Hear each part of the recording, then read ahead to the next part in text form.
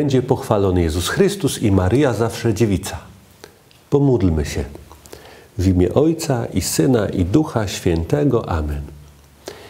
Panie Jezu, dziękujemy Ci za ten czas, który nam dajesz, za ten czas tych rekolekcji, za ten czas, w którym Ty będziesz przechodził do naszych serc. Maryjo, prosimy Cię, pozwól nam odkryć Twoją miłość i schowaj nas w swoim sercu. Przytul nas do swojego serca. Święty Józefie, prosimy Cię, opiekuj się nami, pozwól nam odkryć Twoją obecność w naszym życiu i też przytul nas do swojego serca.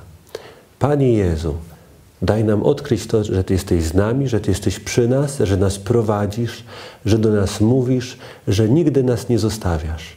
I przytul nas, Panie Jezu, do swojego serca. Dziś powiemy sobie o tym, jak się modlić z wiarą, tak żeby Pan Jezus nas wysłuchiwał naszymi dziecięcymi sercami, z pełną ufnością.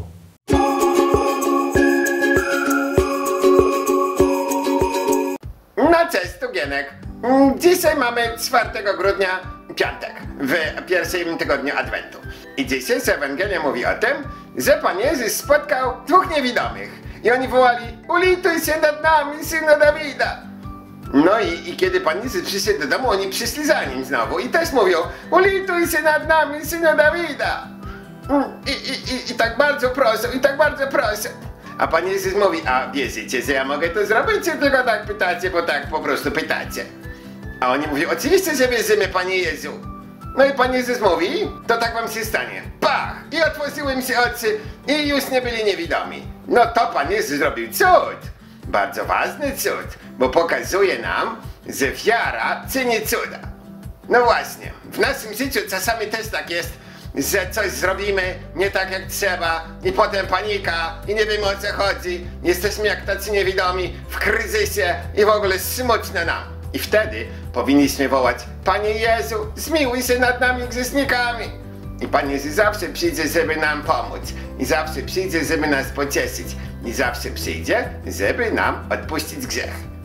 No, pozdrawiam was wszystkich bardzo serdecznie. Cześć!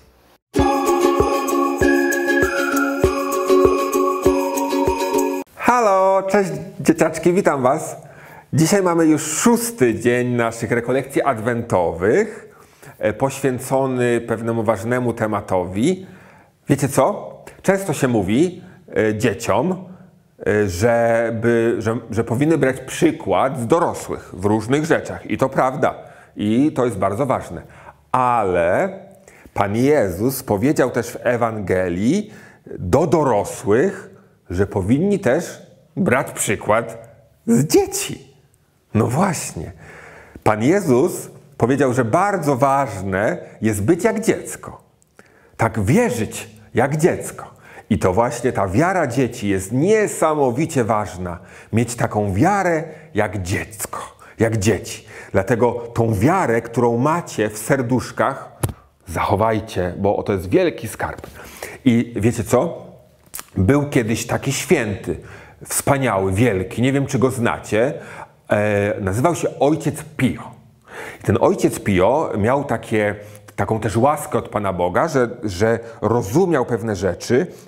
Pan Bóg mu czasami coś tak tłumaczył, że on coś wiedział, co będzie też w przyszłości. I on kiedyś powiedział, myśląc o takich czasach, właśnie tych, w których teraz żyjemy, powiedział bardzo ważne słowa, które chciałbym, żebyście zapamiętali, nawet nie tylko wy, ale chciałbym, żeby to też zapamiętali rodzice, e, katecheci, księża, wszyscy, którzy się opiekują dziećmi. Ojciec Pio powiedział: Dzieci ocalą świat. Niesamowite. Dzieci ocalą świat. Jeszcze te, te, słowa będziemy na różne sposoby e, lepiej rozumieli w tych rekolekcjach, będziemy je sobie wyjaśniać. Natomiast chcę Wam dzisiaj przedstawić, chociaż może już znacie, takie, ta, taką dwójkę dzieci, która właśnie bardzo dobrze pokazuje, co to znaczy, że dzieci ocalą świat. To jest Franciszek i Hiacynta z Fatimy. Zresztą zobaczcie, jak oni wyglądają. I wiecie co? Matka Boża przyszła właśnie do tych dzieci z Fatimy i yy, po, poprosiła te dzieci, żeby one pomogły jej ratować świat i one to uczyniły. I, I między innymi Matka Boża nauczyła te dzieci takiej modlitwy, którą chciałbym, żebyście zapamiętały. Pięknie byłoby, gdybyście ją sobie przepisały, albo gdyby rodzice wam ją napisali, gdybyście ją odmawiali co jakiś czas, a może nawet codziennie. Ta modlitwa jest bardzo ważna, a za chwilę też na podstawie tej modlitwy oczywiście będzie też wierszyk Pana Rymowanki. A ta modlitwa brzmi tak. Boże mój, wierzę w Ciebie, ufam Tobie, uwielbiam Ciebie i kocham Cię. Proszę Cię, przebacz tym, którzy w Ciebie nie wierzą, którzy Tobie nie ufają, którzy Ciebie nie uwielbiają i którzy Ciebie nie kochają. Taką modlitwę te dzieci odmawiały bardzo, bardzo często, żeby, Panu Bo e, żeby Pana Boga pocieszyć e, i, że, i żeby Go prosić, żeby też zapomniał i, prze, i przebaczył tym, którzy Go w ogóle nie kochają. A takich też ludzi jest e, dużo. I wiecie co? Żeby Wam pomóc tą modlitwę zapamiętać, to oczywiście mam dla Was wierszyk. No to co? Czas na Pana rymowankę. Posłuchajcie. Mój Boże, choć wielu ludzi nie wierzy w Ciebie, ja w Ciebie wierzę, mój tato w niebie. Choć wiele osób nie dziękuję Tobie, ja chcę Ci dziękować i chętnie to robię. Choć dziś wiele osób nie ufa Twej miłości, ja Tobie ufam do nieskończoności. A za te wszystkie y, osoby, które Cię jeszcze, tato, nie znają, chcę się modlić codziennie, aż Cię pokochają. Nie smuć się, nasz dobry Boże, choć świat ma tyle grzechów i wad. Masz nas. Każdy z nas Ci pomoże. No przecież dzieci ocalą świat. Amen. Dziękuję Wam bardzo, zapamiętajcie to sobie, módlcie się i do zobaczenia jutro w siódmym dniu naszych rekolekcji. Pa, pa!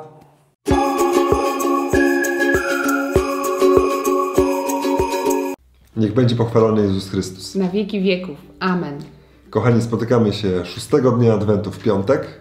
I dzisiaj, tak jak zapowiedział Adrian, jest e, o Fatimie, jest o Franciszku e, i Hiacyncie.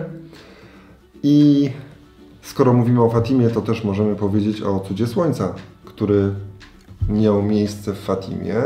I pierwsza dzisiejsza nasza praca to jest właśnie praca związana z tym, że taki, takie wirujące słońce, tak jak w Fatimie, spróbujemy razem Pokaż. z ciocią Martą Pokaż wujek, bo ja już zrobiłam to Pokażę, słońce. pokażę jak to działa, dobra? Uwaga. Tak się kręci to słoneczko. wiruje, słuchajcie, normalnie Kręci, wiruje. wiruje. Spróbuję trochę mocniej zakręcić, bo moi synowie to kręcą dużo lepiej niż ja. O, teraz nawet mi wyszło nie najgorzej. I takie mamy wirujące. Jak słońce. zrobić takie wirujące słońce? Moi kochani, potrzebujecie kawałek kartonu. W tych paczkach, co przychodzą do rodziców, ciągle to na pewno taki karton Mhm. znajdziecie. Wycinacie z niego koło. Koło najlepiej wyciąć takie, że przykładacie talerz, odrysowujecie talerz, wycinacie, macie koło. Ok? To będzie to nasze słońce.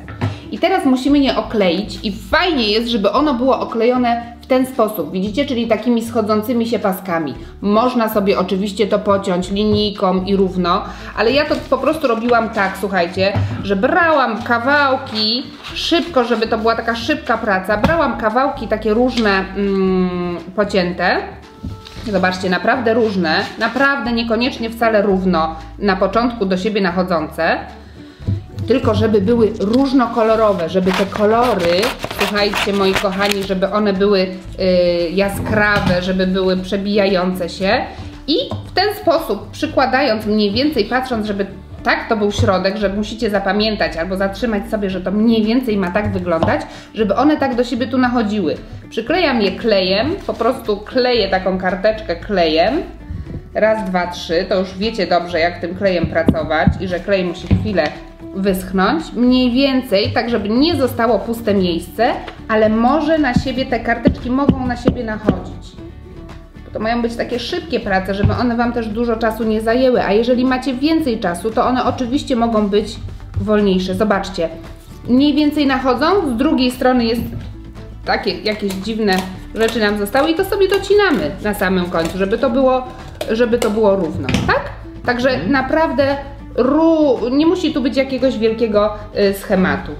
I teraz, jak już mamy to oklejone, to ważna jest tutaj pomoc dorosłego, bo musi nam zrobić dziurkę w środku na kredkę, która będzie trzymała to słońce. Może być nożyczkami, ale oczywiście dorosły uważa, żeby sobie krzywdy nie zrobić. Mniej więcej szukamy Mniej środka. więcej nie, bo dobrze by było też rzeczywiście to jakoś, no, tak wiedzieć, że to jest środek.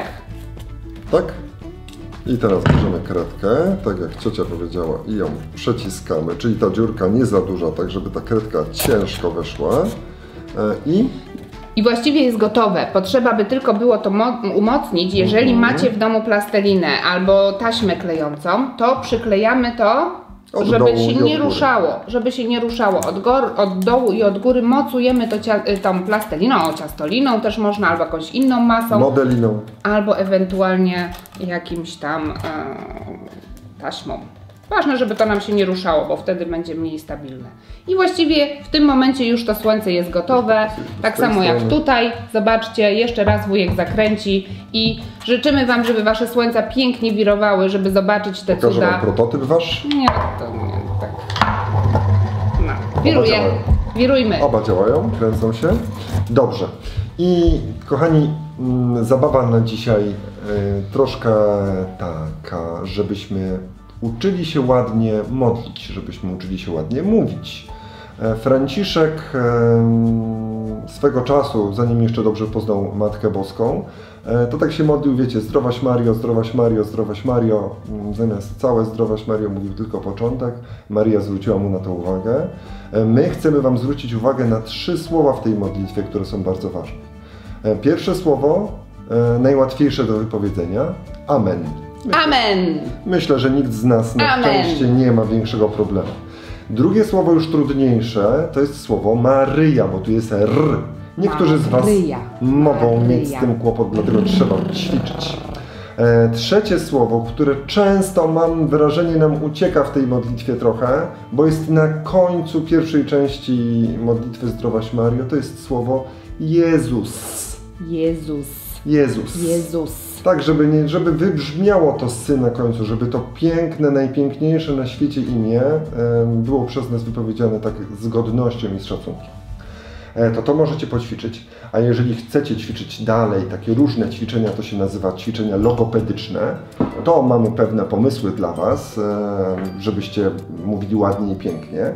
Możecie zacząć od stół z powyłamywanymi nogami. Stół z powyłamywanymi nogami. Mniej Poćwiczę więcej. jeszcze. E, Potem na przykład Karolina Królowa Krakowska kazała Karolowi Królowi karę konie kuć. Karę konie kuć. Bardzo ładny końcówka Kazała królowa. Karolina. Potem mamy chociażby Suchą szosą Sasza szedł. Szedł, szedł, Sasza. I może gdzieś suchą doszedł. szosą. E, Jak to będzie dla Was łatwe, to może trzy, trzy cytrzystki grały w trzewie na cytrze. Ja Wam proponuję zastopować i powtarzać po wujku. I cofać się i powtarzać. I takie ćwiczenia robić. One naprawdę są dobre, bo ważne jest, żebyśmy mówili wyraźnie. A jak to wszystko Wam wyjdzie, e, to sprawdźcie, czy wychodzi rodzicom. A jak to wychodzi rodzicom, to e, dajcie rodzicom takie, takie zdanie do powiedzenia. Wyindywidualizowałem się z rozentuzjazmowanego tłumu, który oklaskiwał przeliteraturalizowane dzieło. Próbujcie z Panem Bogiem. Pan z wami. Niech Was błogosławi Bóg Wszechmogący, Ojciec i Syn i Duch Święty. Amen.